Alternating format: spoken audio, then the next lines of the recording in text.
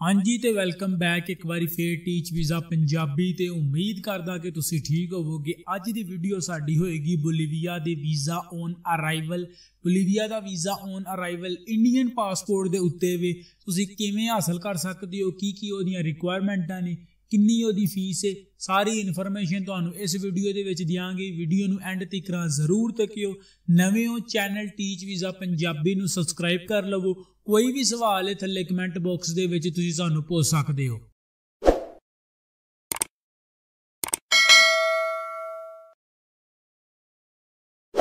ਹਾਂਜੀ, ਤੇ ਗੱਲ ਕਰਨੇ ਆ ਅਸੀਂ ਬੋਲੀਵੀਆ ਦੇ ਵੀਜ਼ਾ ਔਨ ਅਰਾਈਵਲ ਦੇ ਇੰਡੀਅਨ ਪਾਸਪੋਰਟ ਉੱਤੇ, ਜਿਹੜੀ ਯੂ ਐਸ ਏ ਦੀ ਡੌਂਕੀ ਲੱਗਦੀ ਏ, ਜਿਹੜੇ ਇੰਡੀਆ ਤੋਂ ਏਜੰਟ ਲੈ ਕੇ ਜਾਂਦੇ ਨੇ ਤੁਹਾਨੂੰ ਯੂ ਐਸ ਏ ਦੀ ਡੌਂਕੀ ਲਵਾਉਣ ਵਾਸਤੇ ਉਹ ਜ਼ਿਆਦਾਤਰ ਬੋਲੀਵੀਆ ਦਾ, ਇਕਵਾਡੋਰ ਦਾ ਜਾਂ ਫਿਰ ਗੁਆਟੇਮਾਲਾ ਦਾ ਵੀਜ਼ਾ ਲਵਾਇਆ ਜਾਂਦਾ ਹੈ ਇੰਡੀਅਨ ਪਾਸਪੋਰਟ ਦੇ ਉੱਤੇ। ਕਿਉਂਕਿ ਜਿਹੜਾ ਬੋਲੀਵੀਆ ਉਹਦਾ visa on arrival A.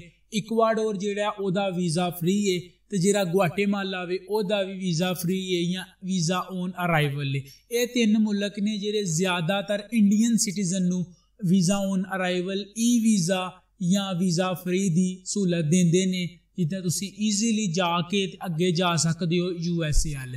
Indian passport ਦੇ ਉੱਤੇ ਬੋਲੀਵੀਆ ਦਾ ਵੀਜ਼ਾ ਔਨ ਅਰਾਈਵਲ ਲਈ ਇਹਦਾ ਮਤਲਬ ਇਹ ਵੇ ਕਿ ਇੰਡੀਆ ਤੋਂ ਤੁਹਾਨੂੰ ਬੋਲੀਵੀਆ ਜਾਣ ਵਾਸਤੇ ਕਿਸੇ ਵੀਜ਼ੇ ਦੀ ਲੋੜ ਨਹੀਂ ਹੈ। ਤੁਸੀਂ ਜਦੋਂ 에ਅਰਪੋਰਟ ਦੇ ਉੱਤੇ ਲੱਥੋਗੇ, ਤੁਹਾਨੂੰ ਔਨ ਅਰਾਈਵਲ ਵੀਜ਼ਾ ਦੇ ਦਿੱਤਾ ਜਾਏਗਾ। ਤੁਹਾਡੇ ਪਾਸਪੋਰਟ ਦੇ ਉੱਤੇ ਸਟੈਂਪ ਕਰਕੇ ਦੇ ਦਿੱਤਾ ਜਾਏਗਾ ਬੋਲੀਵੀਆ ਦਾ ਵੀਜ਼ਾ ਜਿਹਦੀ ਫੀਸ ਹੋਏਗੀ 55 ਡਾਲਰ। 55 ਯੂਐਸ ਡਾਲਰ ਜੀ ਦੀ ਫੀਸ ਹੋਏਗੀ, ਜਿਹੜੀ ਤੁਸੀਂ 에ਅਰਪੋਰਟ ਦੇ ਉੱਤੇ ਹੀ ਦੇਣੀ ਹੈ ਉਹਨਾਂ ਨੂੰ, ਤੇ ਤੁਹਾਨੂੰ 에ਅਰਪੋਰਟ ਦੇ ਉੱਤੇ ਹੀ ਵੀਜ਼ਾ ਲੱਭ ਜਾਏਗਾ। ਤੁਹਾਨੂੰ ਐਡਵਾਂਸ ਤੇ ਵੀਜ਼ਾ ਲੈਣ ਦੀ ਲੋੜ ਨਹੀਂ ਹੈ। ਰਿਕੁਆਇਰਮੈਂਟ ਦੀ ਗੱਲ ਕਰੀਏ, ਤਾਂ ਤੁਹਾਡੇ ਕੋਲ ਕੁਝ ਪੈਸੇ ਹੋਣੇ ਚਾਹੀਦੇ ਨੇ। ਜਿੰਨੇ ਦਿਨ ਤੁਸੀਂ ਬੋਲੀਵੀਆ ਦੇ ਵਿੱਚ ਰਹਿਣਾ ਵੇ 10 ਦਿਨ 20 ਦਿਨ 30 ਦਿਨ, ਉਸ ਪਰ ਦਿਨ ਦੇ ਹਿਸਾਬ ਦੇ ਨਾਲ 100 ਡਾਲਰ ਤੁਹਾਡੇ ਕੋਲ ਹੋਣਾ ਚਾਹੀਦਾ ਹੈ। ਉਸ ਤੋਂ ਬਾਅਦ ਹੋਟਲ ਬੁਕਿੰਗ ਹੋਣੀ ਚਾਹੀਦੀ ਏ ਤੇ ਫਲਾਈਟ ਰਿਟਰਨ ਟਿਕਟ ਹੋਣੀ ਚਾਹੀਦੀ। ਆਉਣ ਤੇ ਜਾਣ ਦੀ ਦੋਵੇਂ ਟਿਕਟਾਂ ਤੁਹਾਡੇ ਕੋਲ ਹੋਣੀਆਂ ਚਾਹੀਦੀਆਂ ਨੇ। ਫਲਾਈਟ ਟਿਕਟ ਦੀ ਗੱਲ ਕਰੀਏ ਤੇ ਇੰਡੀਆ ਤੋਂ ਤੁਹਾਨੂੰ ਬੋਲੀਵੀਆ ਵਾਸਤੇ ਡਾਇਰੈਕਟ ਫਲਾਈਟ ਨਹੀਂ ਲੱਭਣੀ, ਜਾਂ ਤੇ ਤੁਹਾਨੂੰ ਵਾਇਆ ਦੁਬਈ ਯੂਏਈ ਜਾਂ ਫਿਰ ਕਤਰ ਜਾਂ ਫਿਰ ਤੁਰਕੀ ਦਾ ਵਾਇਆ ਤੁਹਾਨੂੰ ਪੈਣਾ ਉਸ ਤੋਂ ਬਾਅਦ ਇਹਨਾਂ ਤਿੰਨਾਂ ਮੁਲਕਾਂ ਦੇ ਵਿੱਚੋਂ ਕੋਈ ਇੱਕ ਮੁਲਕ ਦਾ ਤੁਹਾਨੂੰ ਵਾਇਆ ਲੈਣ ਤੋਂ ਬਾਅਦ ਅੱਗੋਂ ਵੀ ਕਿਸੇ ਕੰਟਰੀ ਦਾ ਟ੍ਰਾਂਜ਼ਿਟ ਵੀਜ਼ਾ ਚਾਹੀਦਾ ਹੋਏਗਾ। ਜੇ ਤੁਸੀਂ ਅਮਰੀਕਾ ਜਾਂਦੇ ਹੋ, ਕੈਨੇਡਾ ਜਾਂਦੇ ਹੋ ਜਾਂ ਯੂਰਪ ਕਿਸੇ ਕੰਟਰੀ ਵੱਲ ਜਾਂਦੇ ਹੋ, ਫਿਰ ਤੁਹਾਨੂੰ ਟ੍ਰਾਂਜ਼ਿਟ ਵੀਜ਼ਾ ਰਿਕੁਆਇਰਡ ਹੋਏਗਾ। ਜੇ ਤੁਸੀਂ ਬ੍ਰਾਜ਼ੀਲ ਵੱਲ ਜਾਂਦੇ ਹੋ ਜਾਂ ਪਨਾਮਾ ਵੱਲ ਜਾਂਦੇ ਹੋ, ਫਿਰ ਤੁਹਾਨੂੰ ਵੀਜ਼ੇ ਦੀ ਲੋੜ ਨਹੀਂ ਹੈ। ਵਾਇਆ ਇਸੇ ਲਈ ਮੈਂ ਕਹਿਣ ਦਿਆਂ ਮੈਂ ਕਿਉਂਕਿ ਪਾਕਿਸਤਾਨ ਤੋਂ ਇੰਡੀਆ ਤੋਂ ਤੁਹਾਨੂੰ ਡਾਇਰੈਕਟ ਫਲਾਈਟ ਨਹੀਂ ਲੱਭਣੀ ਜਾਂ ਤੁਹਾਨੂੰ ਯੂਏਈ ਲੈ ਕੇ ਜਾਇਆ ਜਾਏਗਾ।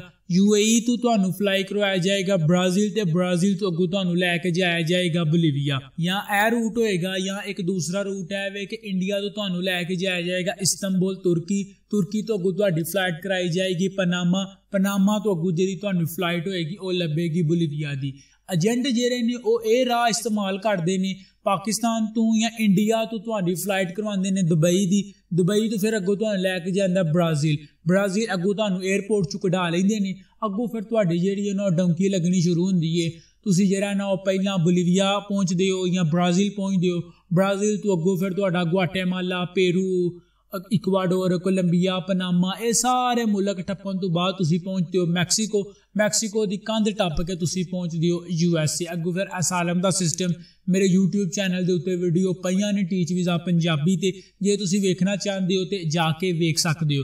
ਬੋਲੀਵੀਆ ਦੀ ਕੋਈ ਖਾਸ ਰਿਕੁਆਇਰਮੈਂਟ ਨਹੀਂ ਹੈ visa on arrival Indian passport ਦੇ ਉੱਤੇ ਪਾਕਿਸਤਾਨੀ ਪਾਸਪੋਰਟ ਦੇ ਉੱਤੇ ਵੀਜ਼ਾ ਰਿਕੁਆਇਰਡ ਹੈ ਬੋਲੀਵੀਆ ਦਾ ਬੋਲੀਵੀਆ ਦੀ ਐਮਬੈਸੀ ਪਾਕਿਸਤਾਨ ਦੇ ਵਿੱਚ ਮੌਜੂਦ ਨਹੀਂ ਹੈ ਤੁਸੀਂ ਆਨਲਾਈਨ ਵੀ ਵੀਜ਼ਾ ਅਪਲਾਈ ਕਰ ਸਕਦੇ ਹੋ ਬਟ ਇਸ ਟਾਈਮ ਕਰੋਨਾ ਵਾਇਰਸ ਕਰਕੇ ਤੁਸੀਂ ਵੀਜ਼ਾ ਅਪਲਾਈ ਨਹੀਂ ਕਰ ਸਕਦੇ ਜਿਹੜੇ ਪਾਕਿਸਤਾਨੀ ਨੇ ਇੰਡੀਅਨ ਜਿਹੜੇ ਨੇ ਉਹ ਵੀਜ਼ਾ ਔਨ ਅਰਾਈਵਲ ਤੇ ਜਾ ਸਕਦੇ ਨੇ ਫਲਾਈਟ ਦਾ ਕੋਈ ਹਿਸਾਬ ਲਾ ਲਿਓ ਕਿਉਂਕਿ ਫਲਾਈਟਾਂ ਜਿਹੜੀਆਂ ਨੇ ਬਹੁਤ ਹੀ ਜ਼ਿਆਦਾ ਮਹਿੰਗੀਆਂ ਨੇ ਤੇ ਫਲਾਈਟ ਜਿਹੜੀ ਉਹ ਤੁਹਾਨੂੰ ਡਾਇਰੈਕਟ ਫਲਾਈਟ ਨਹੀਂ ਲੱਭਣੀ ਇੰਡੀਆ ਤੋਂ।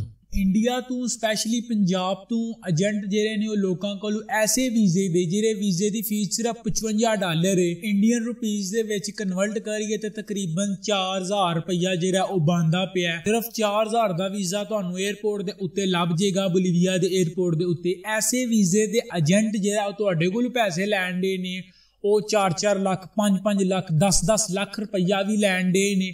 ਵਿੱਚੇ ਟਿਕਟ ਜੀ ਹੁੰਦੀ ਹੈ ਮੈਂ ਮੰਨਣਾ ਪਰ ਟਿਕਟ ਇੰਨੀ ਮਹਿੰਗੀ ਨਹੀਂ ਹੈ। ਟਿਕਟ ਤੁਹਾਨੂੰ ਬੜੀ ਵੀ ਮਹਿੰਗੀ ਲੱਭੀ ਨਾ, ਤਾਂ ਤਕਰੀਬਨ 2 ਲੱਖ 3 ਲੱਖ ਤੱਕ ਲੱਭ ਜੇਗੀ। ਇਸ ਤੋਂ ਬਾਅਦ ਟਿਕਟ ਨਹੀਂ ਲੱਭਦੀ ਹੈ ਬੋਲੀਵੀਆ ਦੀ ਇੰਨੀ ਮਹਿੰਗੀ ਟਿਕਟ।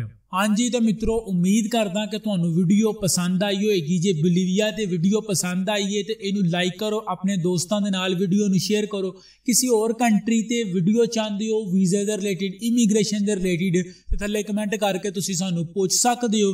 ਅਸੀਂ ਉਹਦਾ ਰਿਪਲਾਈ ਵੀ ਕਰਾਂਗੇ। ਜੇ ਹੋ ਸਕਿਆ ਤੇ ਅਸੀਂ ਉਹ ਤੇ ਵੀਡੀਓ ਵੀ ਬਣਾ ਦਿਆਂਗੇ। ਸਾਡੇ ਅੱਗੇ ਰਿਕੁਐਸਟ ਹੈ ਕਿ ਚੈਨਲ ਟੀਚ ਵੀਜ਼ਾ ਪੰਜਾਬੀ ਨੂੰ ਸਬਸਕ੍ਰਾਈਬ ਕਰੋ ਵੀਡੀਓ ਨੂੰ ਸ਼ੇਅਰ ਕਰਿਆ ਕਰੋ, ਤੇ ਸਾਡਾ ਦੂਸਰਾ ਚੈਨਲ ਗੈਟ ਵੀਜ਼ਾ ਜਿਹੜਾ ਨਵਾਂ ਬਣਾਇਆ ਉਰਦੂ ਜ਼ਬਾਨ ਵਾਲਾ, ਉਹਨੂੰ ਵੀ ਜਾ ਕੇ ਸਬਸਕ੍ਰਾਈਬ ਕਰ ਲਵੋ। ਮਿਲਦੇ ਆ ਤੁਹਾਨੂੰ ਨੈਕਸਟ ਵੀਡੀਓ ਤੇ, ਉਦੋਂ ਤੱਕ ਰੱਬ ਰੱਖਾ।